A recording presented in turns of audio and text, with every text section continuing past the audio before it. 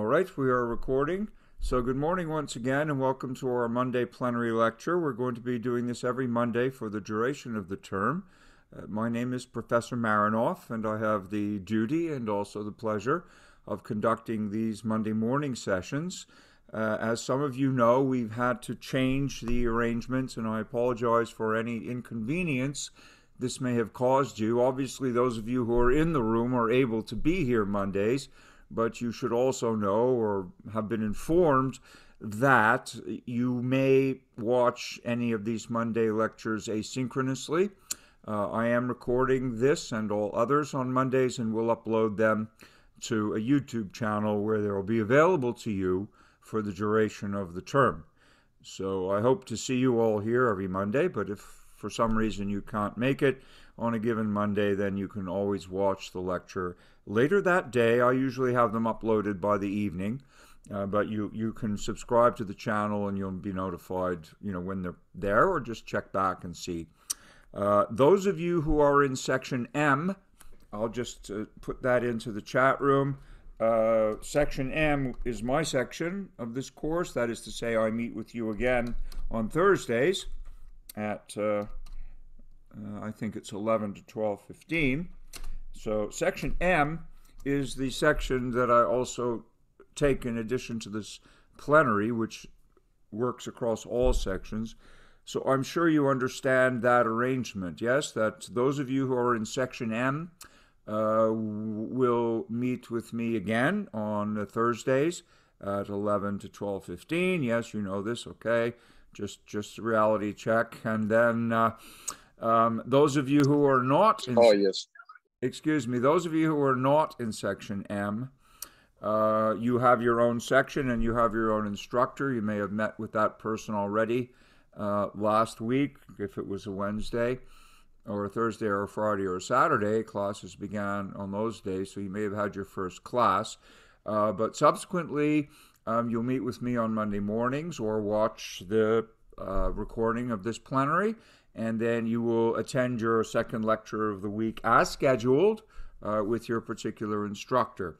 Okay, so I would appreciate if you'd stop chatting, uh, chattering away um, about Discord and other things. Uh, it's very distracting to have people speaking in the classroom when there's a lecture going on, and it's equally distracting to have sidebar conversations in the chat room. Um, so uh, I would ask you to keep that to a minimum and use the chat room to ask questions about what we're doing now. And that way uh, we can stay focused. This is one of the big things that philosophers do, is that we focus. Uh, we don't scatterbrain ourselves very much. And philosophy is going to be useful to you, I hope, no matter what you're studying, because it will give you tools to be more critical, more analytical, uh, to broaden your minds, to get you to ask questions and uh, and to uh, profit, not necessarily from getting all the answers you may want, but actually to be uh, more inquiring specifically about the work you may be doing in your own major, but also in general in your own lives. Philosophy will enrich your experience not only of your undergraduate studies, but it will also enrich your overall experience of life if you approach it in a constructive and wholesome way.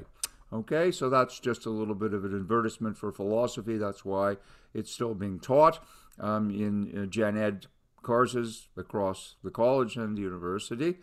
Uh, and uh, we're going to be looking at a vast variety of thinkers this term. I trust that your instructors have made the lecture uh, uh, sequence available to you, so you can see each week we t- tackle a different philosopher, and there are mainly three sections in the course. So we'll we'll take it step by step, and uh, probably uh, not everybody will will enjoy every reading equally, but I am sure that many of you will enjoy many of the readings, and that they will provoke you to think in new ways and hopefully in useful ways. So I really uh, hope that you will read ahead. Uh, the more time you spend outside the course, uh, the rule of thumb is for every hour that you're with an instructor, every hour and a quarter, you ought to spend an hour and a quarter outside uh, of that uh, just reading and thinking about the material. And the more you put into the course, uh, definitely the more you'll get out of it. You could just sail through doing the minimum if you wish, but uh, if you put more in, I guarantee you'll get more out. Uh, so, just to be absolutely clear to everyone, I'm sure you know this, but let's be uh, sure that you do. Uh, I'm evaluating Section M only, although I am giving the Monday lecture to all of you. My responsibility for grading in this course is uh, restricted to uh, those students who are in my own Section M. Um, okay? And those of you who are in other sections, and there are quite a few other sections, it's a popular course, we run it uh, in multiple sections every term. But those of you who are not in my section M will be evaluated by your own instructors, and they will be giving you uh, the guidelines and the criteria for evaluation, right? My students in M already have my syllabus, and we went over it on Thursday. Okay, is this clear to everyone? Just just the housekeeping, right? So we know where we are. Uh, your breakout lectures with your own instructors will build on whatever we do Mondays, and uh, you will be evaluated at the end of the day by your own instructor, whoever that may be. Good. I'm getting some yeses. Ashanti, uh, Ramses, uh, Zuleika. Pardon me if I mispronounce your names. You will have to correct me as we go along. Jeremy, Jesse. Okay. Those yeses indicate that you're all, uh, for, the, for the most part, you're you're with the program, okay, and you know what's going on. Um, yes, this is going to be recorded onto YouTube, uh, up recorded and uploaded to YouTube every Monday. The recording just has to compile. Uh, you know, we are live, we are recording. Uh, the recording will be saved and uploaded uh, as soon as it becomes available to me uh, after it compiles. So it'll be up every Monday. You can expect the recording to appear uh, sometime in the uh, late afternoon or early evening, and it will be there for the duration of the term. In, if you wish to revisit any of the lectures anytime, they'll be there for you.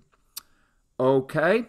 So that is a little bit of housekeeping, um, and I just wanted everyone to be clear about our agenda. So uh, we're going to, uh, without further ado, launch ourselves uh, into the first reading, uh, which is uh, Descartes' Meditations 1 and 2. I'm going to cover the first meditation with you today. I'm going to tell you a little bit about Descartes and what an important uh, philosopher he is. I'm going to share the screen which has the reading for you, and I've highlighted certain passages in advance and of course, the meditations are quite short. There are six of them all together, and they're all in the book. If you want to read them, um, I would I would never stop philosophy students from reading. Um, in my in my section M, we're going to be responsible for the first two meditations. So I'm going to cover his first one with you this morning, uh, and we'll look uh, a little bit more in depth at what he has to say in a moment. Uh, but then uh, on Thursday with my group, we'll do the second meditation. Uh, Descartes provides us with a very good departure point for doing a traditional philosophy course, and I will be illustrating why uh, very shortly. Just as a matter of interest, how many of you, or if any of you, have already taken a philosophy course in your own, uh, you know, in your own in your own uh, uh, experience? Have any of you uh, done philosophy before?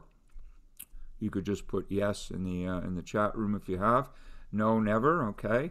Never, never. No, no. Okay, that's fine. Uh, there, it, it is not expected. One of you has, Susanna has. Okay, most of you, the majority, um, have not, and that's a normal thing.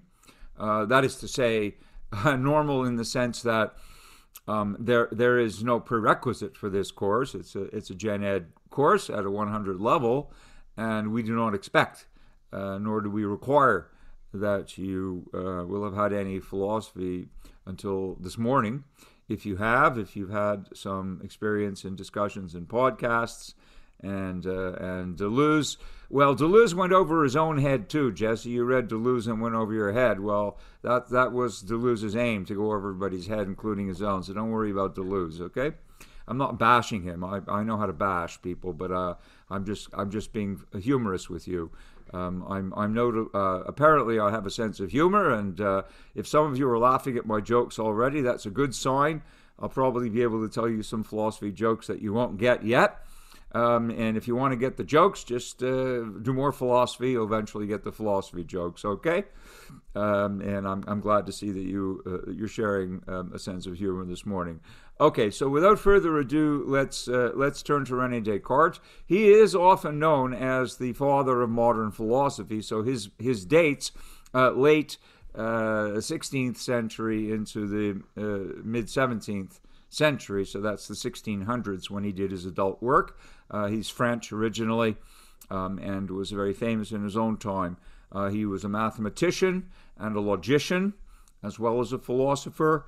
And if any of you uh, are doing algebra or calculus or physics, uh, you've probably uh, worked and may still be working in a coordinate system that he invented. Does anybody know the name of it? If you're dealing with a two dimensional space and you have XY coordinates, what do we call those? Anybody want to type the name in of that system? Cartesian plane. Exactly right. Arsh and Eckhart said the same thing, Cartesian coordinates. And those are named after him. They're called Cartesian because he invented them. This is one of his enormous contributions to mathematics, and it turns out, of course, to, to physics too. So prior to Descartes, people were, were using Euclidean geometry, which is very powerful and very ancient. But uh, what Descartes did was he really created what we today call analytical geometry by transposing Euclid from uh, from you know the Euclidean plane into the Cartesian plane. Uh, Descartes gave us a much more succinct and powerful way to express certain kinds of functions and to graph them and, and, and so forth. So good that you know this. And that's just one feather in Descartes' cap. Uh, we are today going to look um, at his philosophy and not at his mathematics. Okay? Fair enough. So let me uh, share uh, the text with you so we can start to read his meditations. And I will continue to encourage you to ask questions in the chat room uh, or unmute yourselves. I prefer the chat room, it's a lot smoother. Uh, but uh, uh, I also want to say to all of you that in philosophy, we are a, a, discipline that asks questions. There are lots of questions that are unanswered. Some may be unanswerable. Uh, but basically, we are always uh, a questioning discipline. We question everything. And if you want answers, you go across the street and talk to the science people or the engineering people, or you go up to the eighth floor, talk to the mathematics department. They have some answers too to some kinds of problems. But philosophy, we inherit all the uh, all the sometimes most interesting and unanswerable questions, but that's what we like to do. Okay. Uh, Susanna asks, is it Descartes? Or Descartes. No, there's no uh, accent on the E, Susanna, so it's the former. It's French, and when you see, yeah, Descartes is just spelled, uh, is pronounced, as I've said, with an accent on the first syllable, okay? So your um, generic spelling uh, is, is, is very good. Descartes is exactly how we pronounce him. Rene is his first name, and uh, typically you would have an accent on both those E's in his first name, so they would be long vowels, Rene, yeah? But Descartes is pronounced Descartes. Okay. Um, so let's go now to his meditations. And within about uh, 15 minutes, I think you're going to see why we're still reading these meditations after um, all these years. Uh, he, he published them in uh, first in 1634, I believe. First edition came out in French and English. I read it in the British Library. It's a very beautiful edition, uh, but it's been reprinted, you know, hundreds of times since, and uh, it's uh, a long time ago. Yeah, 1634 to uh, 2021. It's almost 500 years, but I think you're going to see why. So let me share the screen with you. And again, what I wanted to say was, uh, interrupted myself, um, there are no such things as foolish questions in philosophy. That's my own philosophy of education. I want to share it with you right from the get go that I consider every question to be important. You should never be uh, chary or reluctant to ask a question because you think it may be a silly question. There are no silly questions in philosophy. I think every question is important. If you want to ask a question, please put it in the chat room. I will take you seriously. Uh, if you ask enough questions to enough philosophers, you're bound to get some silly answers or foolish answers, I guarantee it. But questions themselves are important. Um, and, and so I encourage you always to be ready to ask. Okay? let's now go to Rene Descartes and his first meditation. Just remember how to share the screen. I've already got this thing loaded.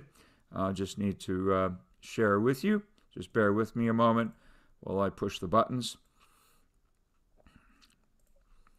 And here he is. Share. Are you able to uh, see the screen?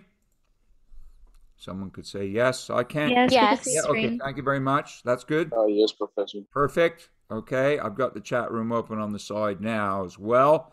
So uh, I've just kept the table of contents open because if you're looking for Descartes in your textbook, uh, you will find him here in part three called Knowledge and Reality. So we're dealing with the problem of skepticism mostly, but also with other things about knowledge and what is knowledge and how do we know when we know something and so forth. So here you have Rene Descartes, uh, Meditations on First Philosophy. I will close the table of contents now because you all know how to use that, and we'll just look at the meditations. So um, you can read a bit about him here. I will also tell you that if you want to learn more about any of the terminology we're going to introduce, and we need to expand our vocabulary to do philosophy, we need to introduce some new terms, at least new to many of you, and that's fine. I want you to learn new words and what they stand for because that's a way of growing your mind also, and also sharpening your thinking. Our vocabulary helps us to sharpen our thinking. It's uh, the case that we think as we speak, not the other way around. So the more clearly and and and more specifically we can speak, uh, that in turn will help us to think more clearly and specifically as well. And if you have any questions uh, uh, that are deeper than what we're able to cover here, then I would urge you to go to a couple of sources. One would be, I mean, there are millions of sources online, but the Internet ENCYC Encyclopedia, I can't type very well but I'm trying. Internet Encyclopedia of Philosophy is one really good resource. I put that in the chat room, and that will give you some basic information about the philosophers we're covering and also a little bit more detail about some of their guiding ideas. That's a good sort of a general source. And if you want a more sophisticated treatment of anything that we cover here today, the Stanford Encyclopedia of Philosophy is really good, although it may be a bit advanced in some cases. It's meant often for professors and graduate students. So it's a very, I would say, sophisticated treatment. But by the same token, it's very well written. So if you want to uh, challenge yourselves a bit and get really expert treatments of some of these issues, and you don't need to understand all of them uh, you know, in depth. But if you want to get a better handle on some of the terminology that we're using, uh, or some of the philosophers whom we study, then either of these sources uh, will be very useful for you, okay? So you can just bear that in mind and make a note um, of those two sources. So Descartes is presenting here a problem of skepticism. Who can say what skepticism means? Does anybody know what it is to be skeptical? What's a synonym for skepticism? Anyone? You don't uh, totally believe on something on any uh, thought. Yes, you're. In other words, is to be skeptical is to is to doubt. That's good, uh, Ashanti. That's actually a good synonym. Doubt. So um, philosophers are very often skeptical, and we often have a phrase called "yes, curious" and asking questions. That's right, Fatima, curious, uh, and also to to be uh, challenging assertions that are made to us. So, in other words, we don't necessarily believe everything we hear. All right? We, we, we want to keep an open mind, but at the same time, we don't want to believe everything everybody tells us. I'm sure you don't go through the day believing everything everybody tells you either. So, we would like to talk about something called healthy skepticism in the sense that it's really good for us at times uh, to be able to filter what people tell us through some sort of a mechanism that can test its veracity, test its its accuracy, its soundness, its truthfulness. We don't want to believe everything we hear. Uh, even small children learn to be skeptical at times. So uh, it's it's useful, uh, and at the end of the day, we probably have to believe some things. Uh, very few people, except for some philosophers, can get through the day uh, being skeptical about everything. Uh, nonetheless, Descartes' mission is to challenge his knowledge and to ask himself, what does he really have good reason to believe and why? And on the other hand, what does he have good reason to suspect or to disbelieve and why? So, this is a very, very important mission that he's on. And he is a bit of a radical, and I don't mean politically now, I mean uh, epistemologically in terms of his philosophy of knowledge.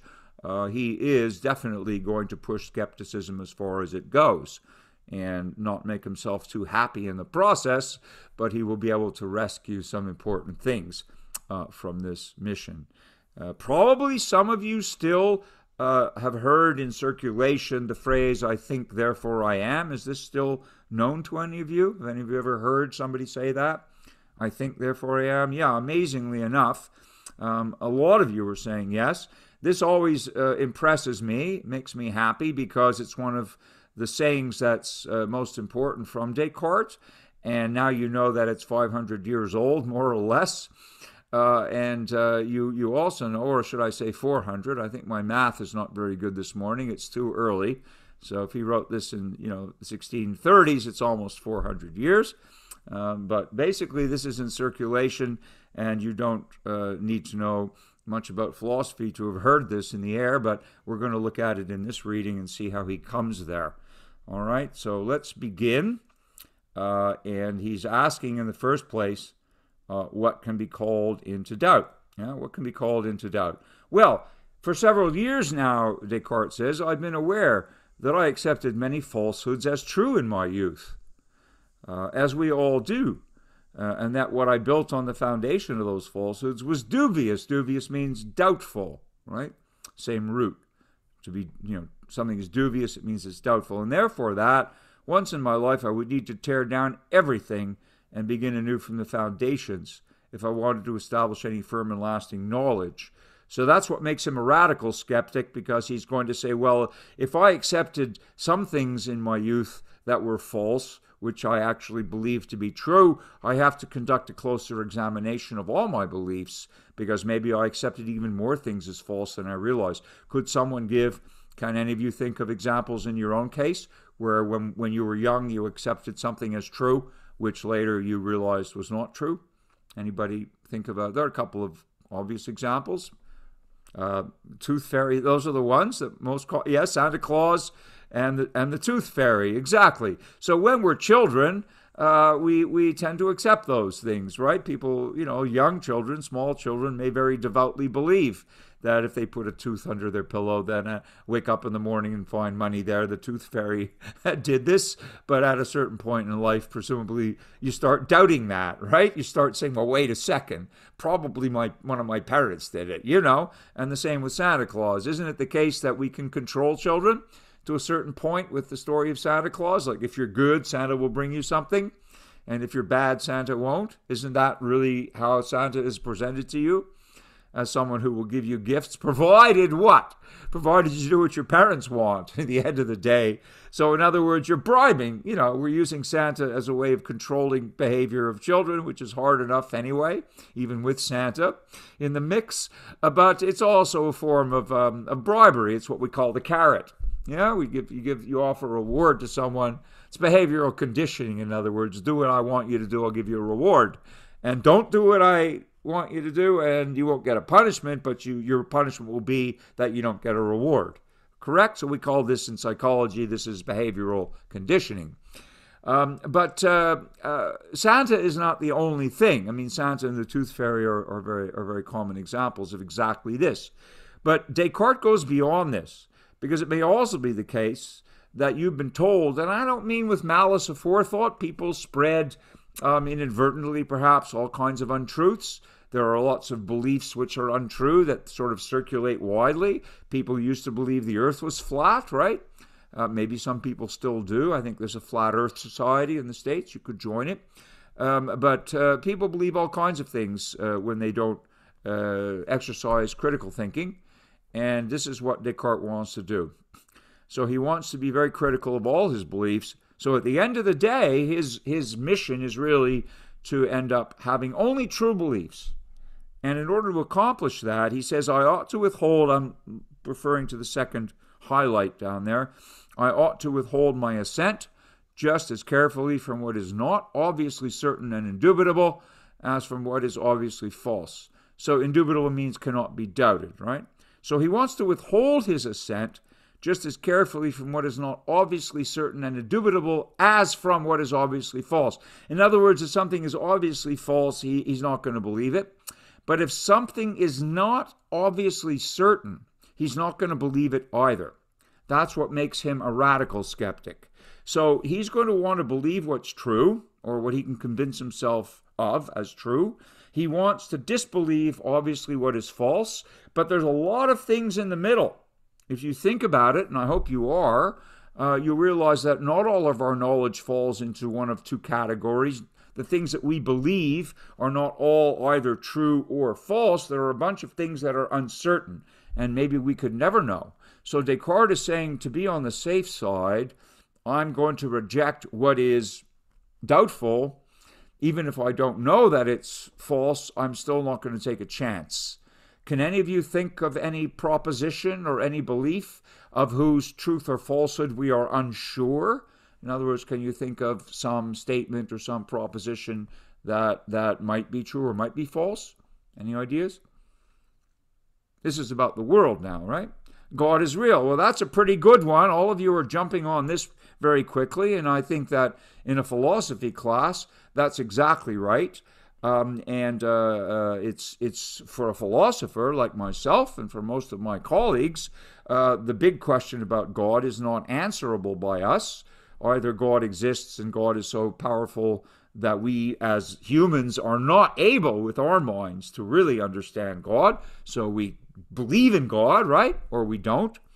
Um, but uh, Descartes does believe in God at the end of the day, but even he says, well, I don't really know, uh, you know, that, that God really exists until he proves it to himself in Meditation 3. If you want that, you can read ahead. But in general, we would say that religion, a philosopher uh, would generally say that religion is a matter of faith. Wouldn't, wouldn't that be fair? Um, we'll get to space and time in a moment, Ramses. That's another important definitely important category of beliefs. Um, but uh, uh, I'm just saying to you that if you um, are religious, uh, in any, you know, if you're a, a, a, an adherence to any religion, we, we have a synonym in English. We call religions faiths, right? We say, you know, I, I have a faith, uh, meaning I have a specific kind of religion. Surely you, you know that kind of usage of the word faith. And generally speaking, if you are religious, it probably means you have faith, um, if you want to think about it uh, in that way. Uh, because when people lose their faith, if people lose their faith for any reason, that means they probably lost their religious belief. Fair to say? Is it fair to say? So, if that's the case, then religion uh, is faith based. I think it's very clear cut. Um, people who believe in God or believe in gods or believe in whatever scripture they believe in have faith in its truth.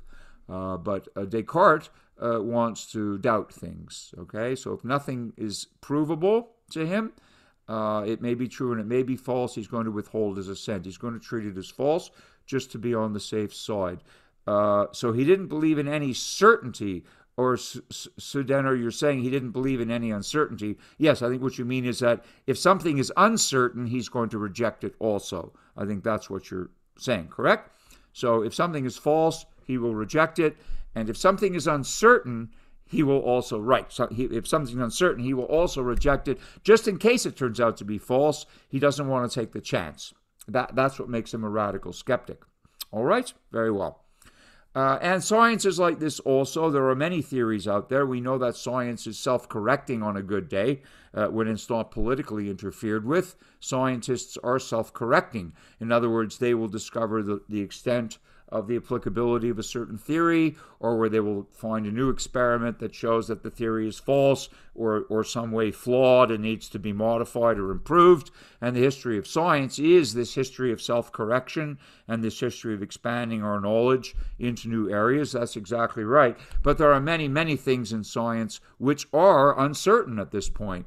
And it doesn't matter how much certainty we have. Science is a subject, any science, whether it's physical or, or you know, natural science, social science. Science is, is, is an interesting, very interesting topic for philosophers because in any science you're going to have a certain core set of uh, beliefs or theories which, which apparently are true and which get modified internally over time to get slightly better formulated, but you're always reaching out to the unknown and trying to capture new things. And as our instrumentation gets better uh, out there, if we're doing cosmology, we discover new things going on in the universe and we don't have explanations for them necessarily. So we have to push our theories ever further in order to explain or account for new data that are being discovered, new phenomena that uh, of whose existence we were formerly unaware. So yeah, science provides a very rich and very fertile field for exactly this kind of inquiry, and scientists have to be skeptics too. That that's how we make progress, and not so much always by discovering what's true, but by rejecting what's false. So Descartes is uh, the father of modern philosophy, and also in that sense the father of modern science because of his method. Okay? He's not doing a particular science, but he's really giving us a way of trying to get closer to the truth about things. All right.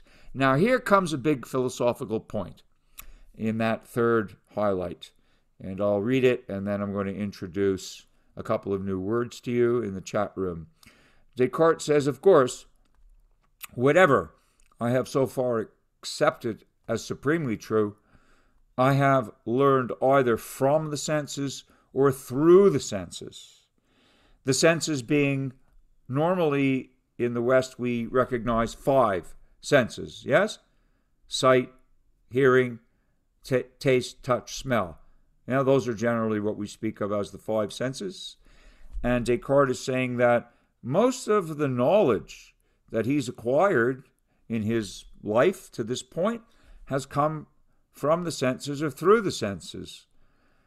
in other words, you're you're attending this class and you're using what? You're using your sense of sight and your sense of hearing, right? In order to to take in uh, the the information. Uh, so you're learning through your senses right now. When we read a book, we're we're using our sense of sight. If we listen to a podcast or a, an audio book or whatever, we're using our sense of hearing. Uh, when we interact with the world, we're using all our senses, but we're learning about whether food tastes good or not because we taste it. All right, so a lot of what we discover about the world inevitably is being interfaced by our senses. And the problem with that, says Descartes, and is as follows. Buddy, he goes on, I have occasionally caught the senses deceiving me. And it would be prudent for me never completely to trust those who have cheated me even once. Prudent means, um, you know, prudent means uh, uh, uh good for myself, uh, self preservative in a certain way. Okay, wise, if you want another synonym. Right? Um, so, can you think of cases? Again, I'm turning it over to you. Um, well, there you go, Arsh. You, you're already on the next page. I like the question how do we know senses are providing us a sense of reality? We don't. And uh, this is a very interesting question that you've raised. Uh, and this is the this is the question that Descartes is tackling right now, as you can see. We'll get on to his his response to his own question in, in a moment, and it's going to resemble yours, Arsh. Yeah, Ramsey says hallucinations. Sure. Well, I'm I'm hoping you're not hallucinating on a daily basis out there. Okay. Um, you know, I mean, if you're hallucinating on a daily basis, you may have another issue, but but basically that would be one example. Um, your subconscious could be telling you something it already knows. Uh, well, how would it already know something, Arsh? Uh, you know, if you're dreaming, um, that's usually based on an experience that you've already had, which is being reinterpreted somewhere and then reprojected during your sleep, right? It's an internal sense, but it also comes from the external. Uh, basically, dreams are based normally on some experience that we've had. Well, there you go. Now you guys are already ahead of this reading by asking whether um, whether life itself. Uh, let me back up. All right, you're you're asking some terrific questions. I just need to back up a little bit. I'm really glad Descartes is making you think this way. Bias. Yes, Jesse, we all um, have confirmation bias, and that's because it's instilled already by something we've accepted as true, which may not be true. Yeah, that's the problem with bias, that we already are filtering everything we even perceive on a daily basis is already being filtered through that things we already believe to be the case, whether we believe correctly or incorrectly. So bias is extremely hard to avoid, except as Descartes will discover, in subjects like logic and mathematics, we can be pretty sure that our theorems are really true. Uh, but when it comes to doing other sciences, which depend on perception, and when it comes to doing arts uh, and humanities, which also depend on perception, uh, then our knowledge is going to be much more subject to variability and and to, and to dispute or to disagreement and so forth. So this is a big concern for him because he really wants to know what's true. Uh, so let me just continue through the chat room a little bit uh, and and and check out these messages uh, because you're saying um, how do we know we could be dreaming? That's right, Arsh. We could all be right now in some in some dream that someone else is having, and we don't really know.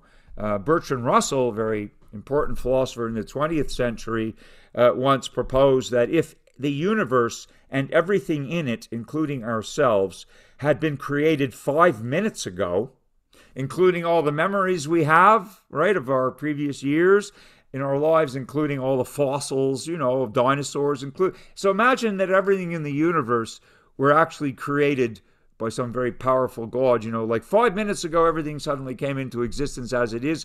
How would we know the difference? And Russell's answer is we wouldn't. We wouldn't have any way, objectively, of knowing the difference. Okay, so it's a bias as a, as a blessing and a curse. Yes, uh, sometimes white noise. Yes, we, we hear things all the time. Um, and uh, you realize, uh, some of you, that uh, it's not just about bias. Uh, how many of you have, um, let's say, I've been driving down a road in the summertime and you'll look down on the highway and see, yeah, optical illusions, exactly, Zuleika. And, and, and psychology textbooks are full, full of optical illusions.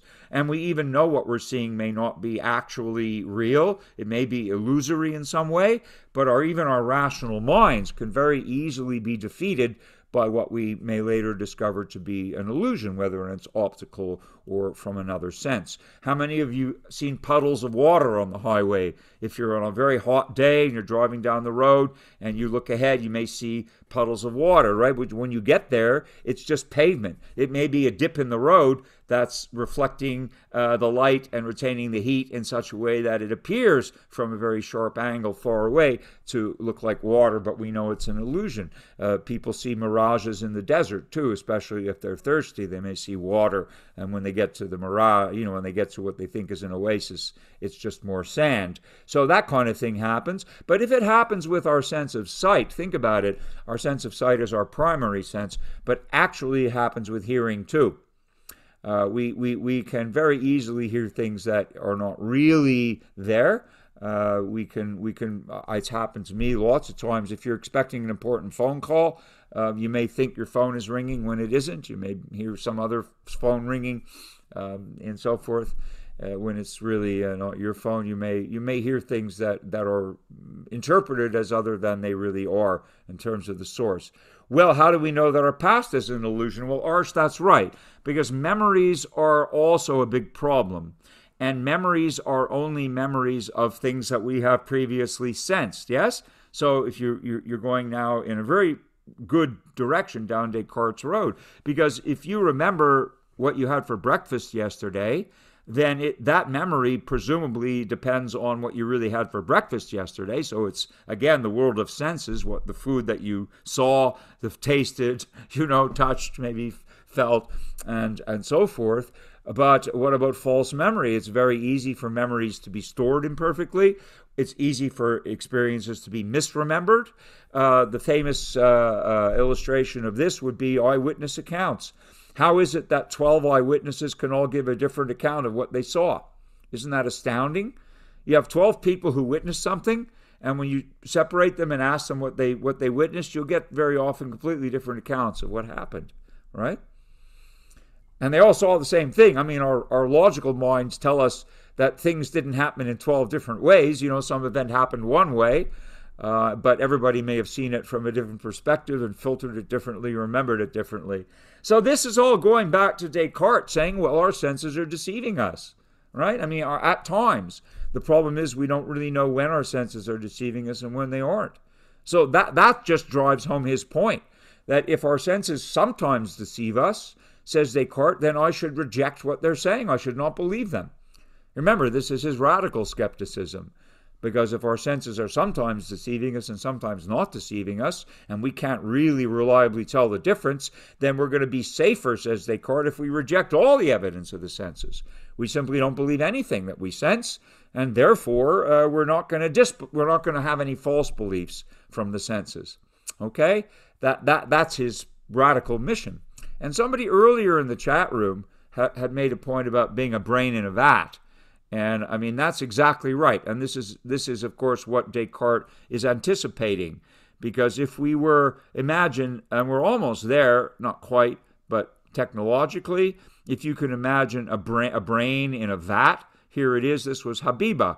How do you know you are not just a brain in a lab being fed stimuli? Exactly right, Habiba. We don't know this uh, because if you did hook up a brain in a vat to the appropriate wiring, you could you could stimulate if we knew how. We're getting there, right? With computer simulation, we could feed digital images into that brain and make that brain hallucinate that it's hearing sounds when nothing is being played.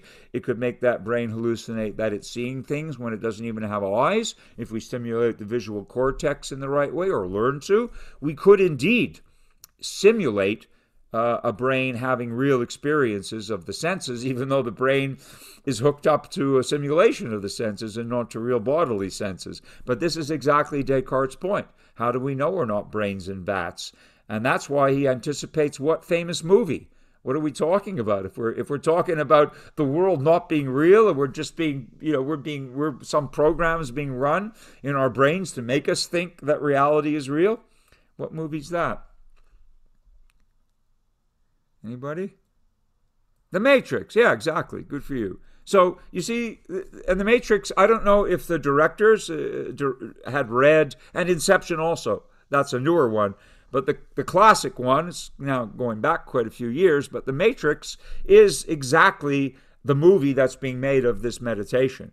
Whether the, the writer and the director had read Descartes, I don't know. But they obviously captured that main point that it's very difficult for us to know what's real and what isn't. Now, I don't expect you to lay awake at night worrying about this because you all have some real life or think you do, but philosophers like to worry about these things, okay? And sometimes it's well worth contemplating. All right, I'm not asking you to be as radical as Descartes, but I see that I don't need to encourage you very much to go down the road with him and see where it leads. So that's very good. I, I like your spirit. Okay, this is very good that you're willing to go along with him for the sake of argument and let's see where it gets him. Okay, so good for you. Let's continue now uh, with the uh, with the with the uh, reading. If I can find the button, I've got to shift these uh, windows around. Uh, are you still seeing the? Are you seeing the next page now? Everybody seeing it? Yes. Good. Okay. So so here's the question. You guys have already anticipated this. Uh, how often a dream has convinced me that I was here? sitting before the fire wearing my dressing gown when in fact I was undressed in between the covers. Let me ask it back to you. Um, especially with nightmares. How many of you have ever awakened? If you're having a nightmare, sometimes you wake up, right? If it's really bad dream, it sometimes makes you wake up. And have you yeah. ever um, have you ever had the experience of where you're having a really scary dream and you wake up and you're still scared? Have you ever had that? I'm not asking you to now tell me all about it, but yes. all, we've all had this. This is part of our uh, common, our shared experience. That sometimes a dream can be so scary that we. will, I hope not all the time, but but if you wake up and you're still scared, it means that the fear is real, even though what was causing the fear is not. Are you with me? The dream is not real in a substantial sense, but it could really make you feel real emotions. Yes. So there we have a perfect case you know, where a dream is actually making us think it's real and scaring us. And, and we even wake up scared and we have to kind of regain our consciousness and realize it was just a bad dream.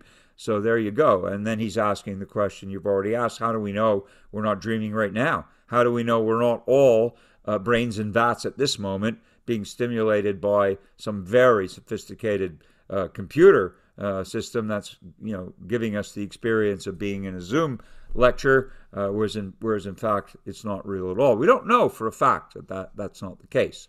Okay, so um, all right. So when Descartes uh, conclude what, what Descartes concludes from this is uh, when I think very carefully, he says, I see plainly that there are no reliable signs by which I can distinguish sleeping from waking. I mean, if he really thinks about it objectively, he he, realizes that that it's really uh, really impossible fully to distinguish between what is real and what is not. I mean, you can pinch yourself and see if it hurts, but then that's just another experience of your senses, right? And you know that people who unfortunately lose limbs, um, if a limb is amputated, you know that medically you can read all the case literature. People still feel phantom pain. Do you know about this? Uh, people say, I have a pain in my arm, even though the arm may not be there, or I have a pain in my leg, even though the leg may not be there. It's called phantom pain. So the pain is real to them, but where the pain is located is no longer existing. It's in a limb that is absent. And they'll still say, I have a pain in my leg, even though they have no leg. So, once again, this would illustrate Descartes' point that, that, that, it's very difficult to draw a bright line in the sand and say, okay, this side of the line is real and that side of the line is imaginary. So, reality is a much stranger place, a much slipperier, a much more slippery place than than we we you know generally assume in our day-to-day lives. And of course, you have to assume certain things to get through the day. But if you have the leisure uh, to be philosophical at times, then it is certainly not difficult to go down this road with Descartes and really start thinking more carefully about what can be doubted. Okay? And so he comes to one important conclusion here, which uh, I need to scroll down to, to, to get to. So he's talking now in this paragraph at the bottom of the column and up to the next column. He is able to discover something which is helpful for his program. He says, perhaps, perhaps, again, not for sure, but perhaps we can correctly infer that. While physics, astronomy, medicine, and other disciplines requiring the study of composites are dubious, disciplines like arithmetic and geometry which deal only with completely simple and universal things without regard to whether they exist in the world, are somehow certain and indubitable. This is very important. I will go over this in a moment with you. Whether we are awake or asleep, 2 plus 3 is always 5, and the square never has more than four sides. It seems impossible even to suspect such obvious truths of falsity. So he's drawing a line between what we today would call empirical sciences, and on the other side of the line, logic and math. Okay? So a line between, I'll type that in. Um, I want to uh, introduce this word, empirical. Does anybody know the term? I'm typing it in now. Not imperial. Empiricism is not imperialism. Is not political. Empirical sciences. Empirical means through the, via the senses. What is empirical uh, knowledge is knowledge that comes to us through the senses. Between empirical sciences and logic and math, which are not empirical because you don't need any of your five senses to do logic or math, you can do that in your mind alone or in your brain alone if you prefer. Right? You can think about mathematics when you are solving a question um, like 1 plus 1 you don't need to see, hear, taste, touch, or smell uh, the equation. You can do it in your mind, yeah? And uh, by contrast, when you're doing physics, I mean, theoretical physics is in your mind, but if you're doing any kind of experimental science, experimental physics, astronomy, you're looking at planets, stars, galaxies, that's empirical. Medicine is empirical, you're trying to find uh, the causes of diseases and cure them. That's empirical. Um, most sciences are uh, either empirical or have empirical uh, dimensions to them chemistry, empirical, biology, empirical, uh, social sciences, psychology, sociology, economics, uh, all empirical, right? They're all empirical. Yeah. Do you need senses like uh, a question from Ramses? You need senses like sight to comprehend objects. Like, well, I would say, and Descartes would probably say, you don't, Ramses, because if you close your eyes, you could very easily picture a square or a circle.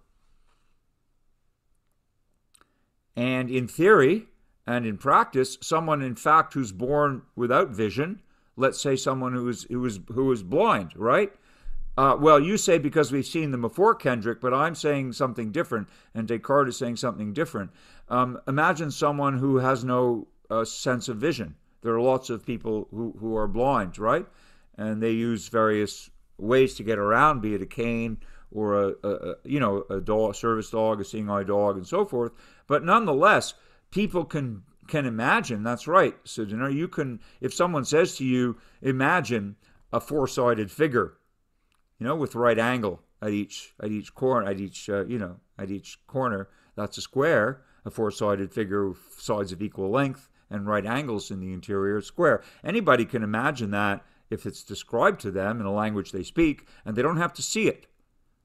Similarly, anybody could imagine. You could ask children or ask adults who are blind and deaf, who went to school and who learned math. They didn't need to see or hear uh, the teacher. They didn't need to read the textbook in order to be able to use the power of their minds to do mathematics. And so this is very important. If you think about it, I'm sure you, you'll see Descartes' point that when we're studying things in the world, obviously we need to interact with them in some way. And so we need our senses. And if you think about it also, you realize that what science does very powerfully is that it gives us instruments which expand the range of our senses. So a telescope allows us to see much further and more clearly than our naked eye does, right? A microscope allows us to see much smaller things at higher degrees of magnification than our naked eye does. A parabolic receiver allows us to hear sounds which our own ears might not pick up unaided, and so forth. So you can think about how all this tremendous instrumentation that science devises is really doing what? It's expanding our senses so we can take in more data. So all of these empirical sciences are really still sense based. And instrumentation just does a, a better job of our own natural biological senses at gathering data. But explaining the data is something that our minds are doing. Descartes would say this is not what our, you know, our eyes are not telling us what we see. Our minds are interpreting that image in some way. So Descartes says that composite things, composite meaning made up of a lot of stuff, uh, you know, planets are made of a lot of things. Uh, galaxies made of more things. Uh, if you look at a cell, it has lots of component parts, right? As we study the phenomena of nature, on whatever scale we study them, we see that phenomena are composites. Even the periodic table, each thing we consider an element, is still composite, right? It consists of what? Consists of subatomic particles, yes? Electrons, protons, neutrons. And those things are composites too. Apparently, they're made of quarks, or, you know, they're made of other things. They're, and the quarks are made of strings, and the strings are made of superstrings. So everything is made up of stuff. And, and, and these are all composites. And because we are studying composites of necessity with empirical help, because they are in some kind of extra mental reality, a, a world outside of our minds, we need our senses or instruments that expand our senses in order to study these composites, whatever the field is, whether you're studying, you know, a galaxy or a society, you're studying composites. And he says for this reason alone, composites are going to be dubious. In other words, what we learn from studying composite things are going to uh, be dubious. We're going to have all kinds of information, but we're not really going to be sure what to believe or not at times whereas disciplines like arithmetic and geometry and also logic um, are going to deal with simple abstracts, universal things without regard, in fact, to whether they exist in the world. And yet they're certain and indubitable. If you think about it, isn't it so that, for example, if 1 plus 1 equals 2, which I, I think is pretty much indubitable, uh, because if 1 plus 1 did not equal 2, then none of our computers would work. We wouldn't be able to ha- be meeting here today because everything that we're using is binary, you know, we're using digital devices, they're binary devices, and they depend on the fact that 1 plus 1 is 2, or in binary arithmetic, 1 plus 1 is 10. Don't worry about that, but it's, it's, it's pretty much consistent worldwide. How about if you went to the moon? Would 1 plus 1 still be 2 on the moon? What do you think? Yes, of course. And in fact, Ramses, we know that it is because we sent astronauts there and they came back. If we sent them to the moon and one plus one were three on the moon, then all the equipment wouldn't work and they'd be stranded. So, you know, th- this is, well, the nature of the universe, maybe. But it's certainly the case, as Descartes says, that these abstract truths, right, these abstract truths seem to be true everywhere and forever. One plus one was two, probably even before people proved it. You know, one plus one was two during the time of the dinosaurs, although there was nobody around to say it but it must have been the case, and it'll probably be the case. We we think you know in the future. Um, so that is because we're dealing with abstract ideas and not composite things. And so we can have a better knowledge, says Descartes, of the abstract things that our minds can come up with. And that means that reliable knowledge comes from the mind and not from the senses. That is the takeaway. So now I'm going to introduce uh, something called uh, rationalism to you, and we're gonna we're gonna stop this share for a moment. So uh, uh, the point that Descartes is making, and I'll put it in the chat room, is that we have really um, the statement from Descartes indirectly here of what we call rationalism. Descartes is a rationalist, and to be a rationalist, okay, rationalism. I'm typing it in. Uh, rationalism asserts that reliable knowledge of any, if we happen to have reliable knowledge uh, in the way that Descartes wants us to have it, rationalism asserts that reliable knowledge comes from the mind, not the senses. Okay? That's the main point. That if uh, comes from the mind, not the senses. Okay? Not T mind, but the mind. All right? My typo there. Whereas um, empiricism and the contrasting philosophy, and we're going to meet an empiricist next week because for every philosopher, there's a counter position that we can take. Uh, every philosopher who argues for anything can always uh, will always encounter some other philosopher who will come up with the opposite point of view or a different point of view. Empiricism asserts, in fact, that knowledge that all knowledge, not reliable or not, that all knowledge comes from the senses. That we wouldn't know anything if we didn't have any senses. So those are two very different perspectives, and I'm not giving you uh, uh, robust dictionary definitions. You can look up these terms. I'm just introducing them as some very important piece of vocabulary uh, Descartes is a rationalist, so is Plato. Descartes, in fact, got a lot of his rationalism from Plato. We'll see Plato later in this course. Empiricism is uh, really opposed in a certain fundamental way. It's saying, no, no, no, if you know anything, you must have learned it from your senses. Descartes is saying, the only reliable knowledge I have is not from my senses. Whatever I got from my senses may be either false or uncertain, and I, and I have to reject it because uh, I can't believe it all. Um, and so I'm not going to believe much, but what I seem to know best is mathematics and logic, and those things don't come from my senses, they come from my rational mind, as they do from yours. So those are two different uh, points of view. And the philosophy that we're discussing here, if you want to know what umbrella is this, it's uh, really uh, the debate between, for example, rationalists and empiricists, is unfolding in the domain of epistemology, just so you'll have the term epistemology, which is, as you may already have suspected, philosophy of knowledge. Okay? So if we're having any kind of a debate about what is knowledge, where does it come from, how do we know what's true and what's false, then we're doing epistemology. Okay, that's the uh, the vocabulary that you need um, to be able to get a handle on this part of the course. Philosophy of knowledge is epistemology. Okay. And one of the main schools is the rationalist school. Another of the main schools is the empiricist school. And obviously, rationalists and empiricists don't believe the same things about knowledge. Okay, is that fair enough? Are we clear about that distinction? Yes, Professor. All right. Well, that's fine. So this is really uh, this is really fundamental. Uh, I will tell you something interesting, though, um, since since you're you're following this well and you're you're obviously engaged. I mean, Descartes' distrust of the senses uh, may seem the first time you encounter it as like unnecessarily radical, but let me ask you now: if you take that perspective in the area of, let's say, interpersonal relations, let's say that you have a friend who uh, suddenly you thought was a very good friend and suddenly you discover that person deceived you. Okay, it happens, right? We get deceived by people from time to time. I hope not every day. But you may be deceived by someone whom you once trusted. Does that happen? Does that happen to you? Is that something that, you know, happens actually quite often? That we, we can be deceived by somebody, right? Okay.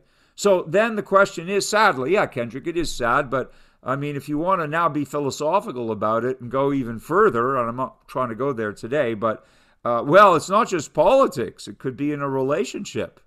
You know, someone could be, you know, seeing other people and saying they're faithful to you, right? And maybe they're having, you know, a relationship on the side. Well, that's a deception, right?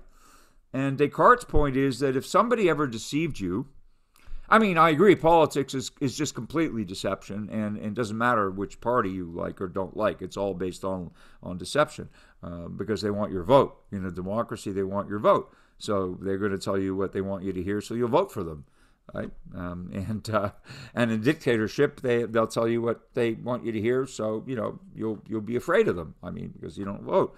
Uh, either way. But here's the point: in a relationship, if somebody deceived you, would you ever trust that person again completely? I'm just asking you. No. Okay, a lot of people saying no, no, not really. Okay. Well, that's Descartes' point. That if a, I mean, he's not making this point, I'm making this point just to make it even sharper for you. That if someone ever deceived you in a relationship, it would be difficult to fully trust that person, right? Okay, afterwards you would always maybe suspect them and not fully trust them. It's a funny thing about human existence. Trust is hard to build, right? Trust can, can take a long time to build. But distrust can happen very quickly, correct? Okay, you all understand this. So it's not really very balanced. It's kind of lopsided picture. It takes a long time to build trust with somebody, but that trust can easily be eroded by one instance of deception discovered. So if that's the case, and if someone deceives you even once, you would never fully trust them again. This is exactly Descartes' point about the senses. That the senses may be reliable most of the time. He's not saying they aren't. But what he's saying is that if they're capable of deceiving us at any time, then how can we ever really know for sure whether we're being deceived or not? Okay? So th- that's his point. And uh, let's just finish the reading. We'll come back and have a few minutes uh, for discussion, but I want to come back now and just finish the meditation. See, these meditations are not, um, they're not um, very long, but they're very deep, right? They give, they, they make us think quite a bit and which is a good thing in philosophy. We want you to think. Philosophers like to think, and we certainly encourage you all to be thinking more than you might otherwise about these subjects. So let me come back to the share, uh, if I can locate it. Uh, uh, Zoom is not is not being friendly here. Oh, there it is. I think I've got it now. Um, okay, are we back to the text? Are you seeing the text? Yes, it's back to the text. Yes. Thank you very Yep. much. Okay, good to know. So he says that you know if if if he can imagine now that God is able to do this, because Descartes does believe in God, but of course God is omnipotent. One of the properties when we start thinking about traditional God, and he, we're speaking now of the God of the Abrahamic faiths. We're talking about the God of, of Jews, Christians, and Muslims. We're talking about the God of the Abrahamic faiths. That's one God, one being, and that God supposedly is what? Omnipotent means all powerful, omniscient means all knowing, and omnibenevolent means, you know, all you know, good. Uh, and that's what we generally are taught to believe, uh, uh, or the properties, if you like, or the attributes of this kind of God. So God is omnipotent for sure in this context, and Descartes believes in that. He was brought up in French uh, Catholic society. He went to a Jesuit school, so he believed in, in, in that God. And he said, well, God is omnipotent, so that means God can do anything that God wants. So he says it would be possible for God to, for whatever reasons God may have, he says, I don't know, but it would be possible for God to create a universe in which I'm just dreaming, you know, that everything is real, but really nothing is real. Yeah? I mean, anything would be possible if you push it that far. And so he goes on to say that if you push the skepticism to its limit, um, that I will suppose then, this is the sort of conclusion of the first meditation, I will suppose then, not that there is a supremely good God, remember, God is traditionally omnibenevolent, supremely good, who is the source of all truth, but that there is an evil demon. He's not talking about God, but he's saying, let's say there's some evil demon who's almost as powerful, or as powerful and cunning, who works as hard as he can to deceive me. He's conducting a thought experiment. Imagine some evil demon with almost the same power as God and who wants only to deceive us. And so I will say that sky, air, earth, color, shape, sound, and other external things, all the stuff that we know about from the senses, are just dreamed illusions, which the demon uses to ensnare my judgment. I will regard myself as not having hands, eyes, flesh, blood, and senses, but as having the false belief that I have all these things. I will obstinately concentrate on this meditation and will thus ensure by mental resolution that, if I do not really have the ability to know the truth, I will at least withhold assent from what is false and from what a deceiver may try to put over on me, however powerful and cunning he may be. Okay? So this is just a concise, or maybe not so concise, a summary of the radical kind of skepticism that Descartes wants to apply to his own experience of life, so that ultimately, if you think of it in this way, if there were some supremely powerful being out there to deceive us, there would be very little at the end of the day that we would be able to know for sure. Although in meditation two, Descartes will discover one thing, and that becomes the key to his philosophy, to his epistemology, and other other aspects of his philosophy. And we'll come to that in my section M on Thursday, and I hope you will come to that um, with your breakout lectures in your other sections this week. So he leaves us with a kind of paradox. Um, you know, uh, beginning of meditation two, he gets very uh, depressed because he says yesterday's meditation, like this is the next day, right? He's saying yesterday's meditation has hurled me into doubts so great I can neither ignore them nor think my way out of them. And so this is he's going to in meditation two find a way out of this tremendous predicament that he's put himself in and put our put himself all put us all in. Okay? So uh, yeah, Spinoza came later, Arsh. I'm looking back at the uh, at the chat room. Uh, Spinoza was influenced uh, somewhat by Descartes, not totally. Uh, but Spinoza was thinking eh, partly along those lines at times. So Descartes had a tremendous influence. Believe me, very, very big influence. What if our mind is that evil demon? Wow, what a great question. if our if our own mind is that evil demon, then we're all in trouble. and uh, actually, uh, if you think about it, now Descartes is is really um, kind of leading us there indirectly because we are also self deceived, is it not the case? It's not, it's not, simply the case that our senses deceive us about the world, which they do at times, and that others may deceive us in order to profit from the deception, right? Or in some way benefit themselves at our expense. So it's sometimes kind of malevolent deceit. But isn't it the case? But isn't it the case that we're all self deceived at times? I mean, how we see ourselves and how others see us isn't there a disconnect there at times?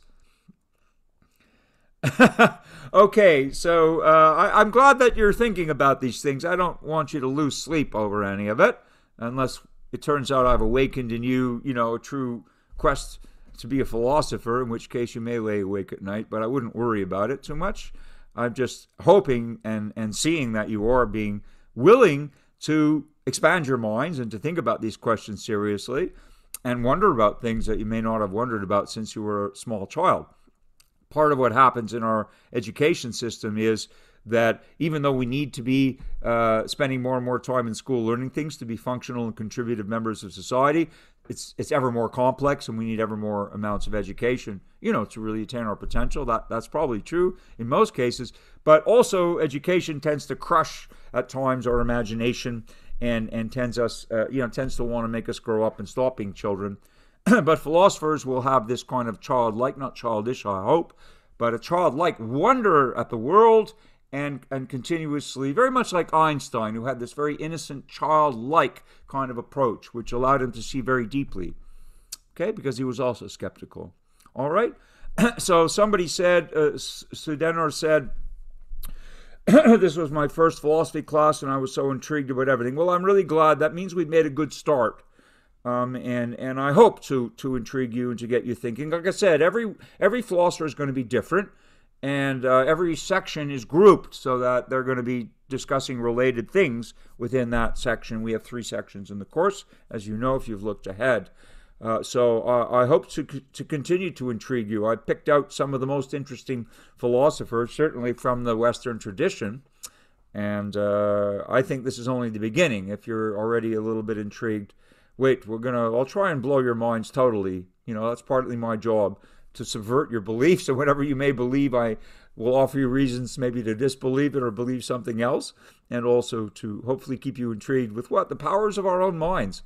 And when we start making inquiry in fruitful directions, we will come up with all kinds of interesting ideas.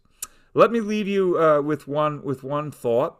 Uh, but first, uh, are there any questions about what we've covered today? Because mission accomplished. We've we've got Descartes' first meditation done.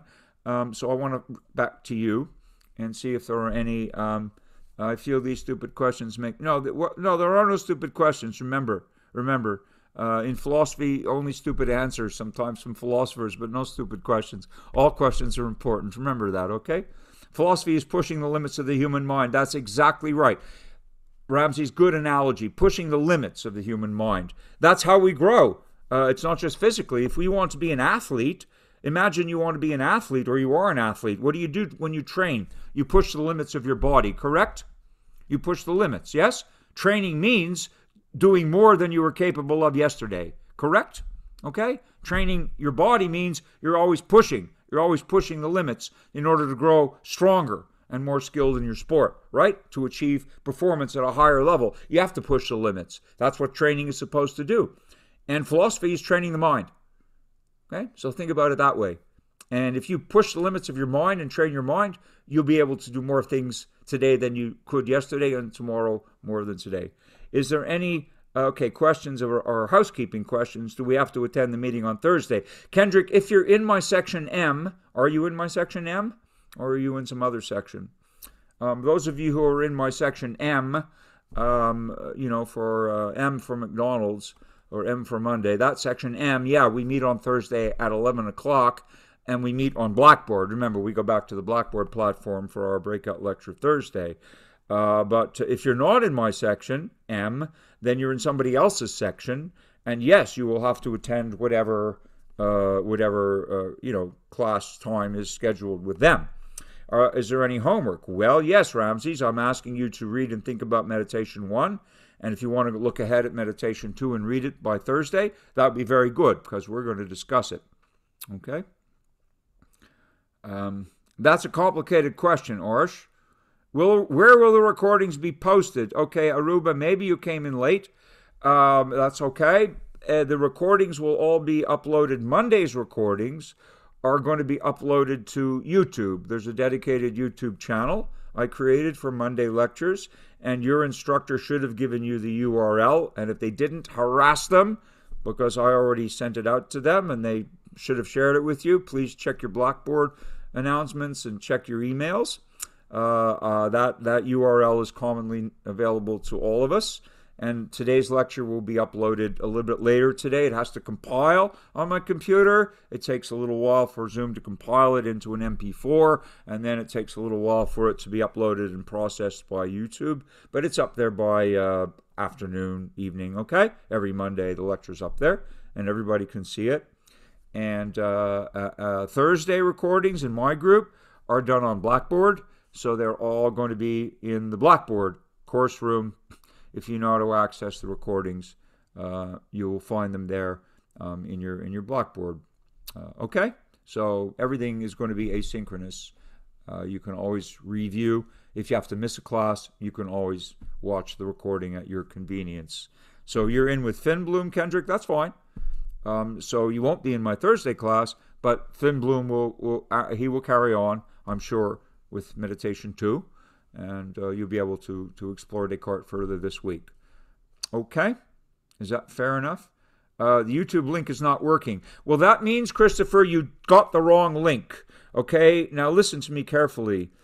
Um, I made a mistake. I sent a massive amount of data to the adjuncts, uh, and I uh, initially made a mistake and sent them my creator link, which of course doesn't work for you because it's a link to my YouTube Creator Studio where I upload.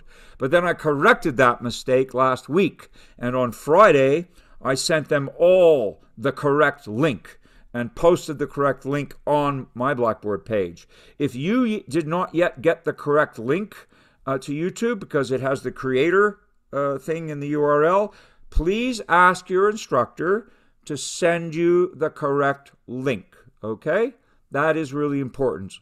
After class now, it's going to end. We've already over time. I'm going to end the class.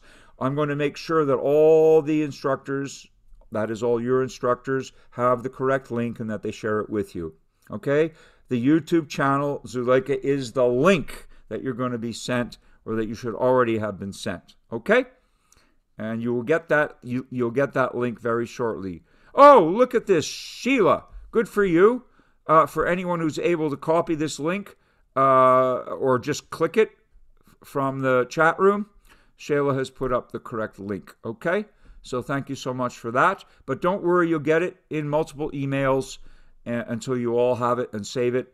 And um, and the link you you were sent did not work, Zeleda, because it was the wrong link. We all make mistakes, and me included but I try and correct them as soon as possible.